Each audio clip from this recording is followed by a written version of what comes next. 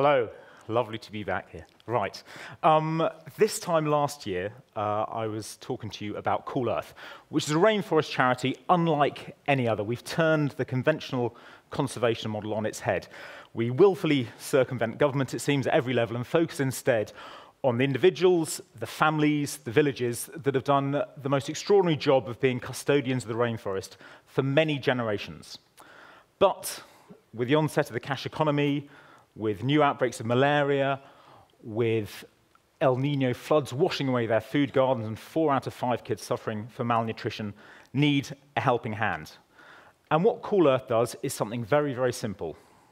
We form partnerships whereby we help build livelihoods that will actually ensure that the rainforest is worth a great deal more for them than it could ever be to a logger, and more importantly, creates a sustainable income so they remain in control of their rainforest.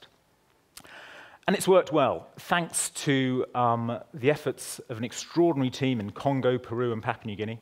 Uh, we have now, I'm delighted to say, more rainforest under community control than any other NGO, any other government in the world.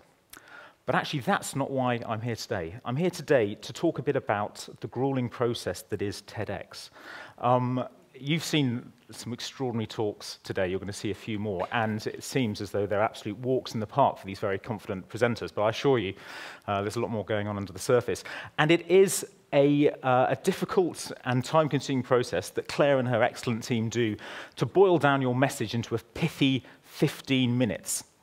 Um, and what I want to talk about is the effect that that's had on Cool Earth. And I suspect a lot of other small organizations that get their 15 minutes of fame. Because when you do boil things down, um, a few truths come to the surface. Not least, uh, the awful admission of mission creep and the things that your organization suddenly now finds itself doing, which really weren't in the original instructions. Um, things that you do because other charities do them. Things that you do because they seemed a good idea at the time, and it was such a nice person who suggested it. So when we were looking at putting together this TED Talk, we actually realized we've got to prune things back, and that's exactly what we did. And we did quite a bit of spring cleaning. And we stopped doing certain things. We stopped telling, for example, uh, our community partners how to spend the money we gave them. We always try to avoid it, but we actually really stepped back and said, look, this is your cash, it's your rainforest, what's going to work best for your communities?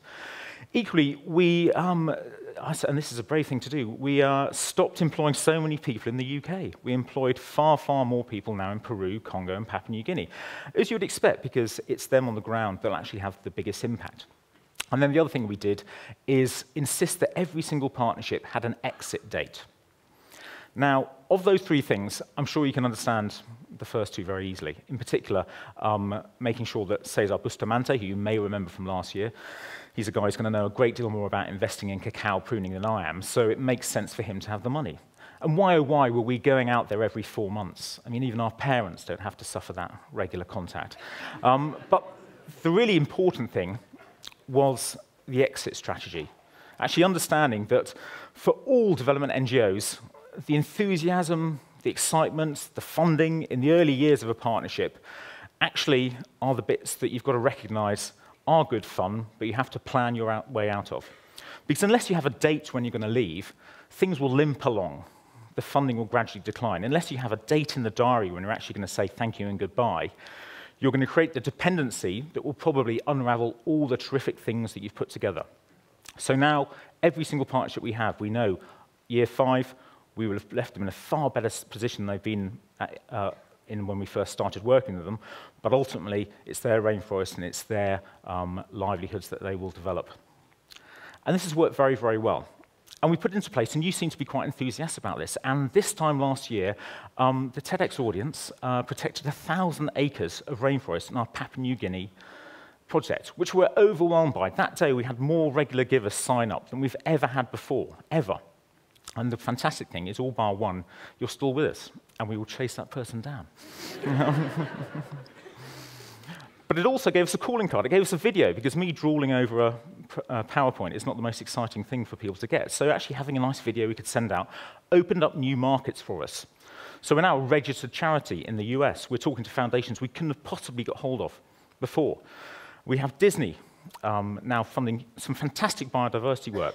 And we have the Michael Owen Foundation, who, through an extraordinary generous gift linked to our TEDx talk, is now covering absolutely every penny of our overhead this year. So anything that we collect in 2016 will bring directly to our partnerships in the rainforest. And as a result, um, it's only four months into the year, we're already 40% up. So this is really just uh, to say thank you the TEDx team and the TEDx audience. And you really did demonstrate that uh, when you say, talk about inspiring change, it's not really just in the audiences, it's also in the participants. Thank you very much.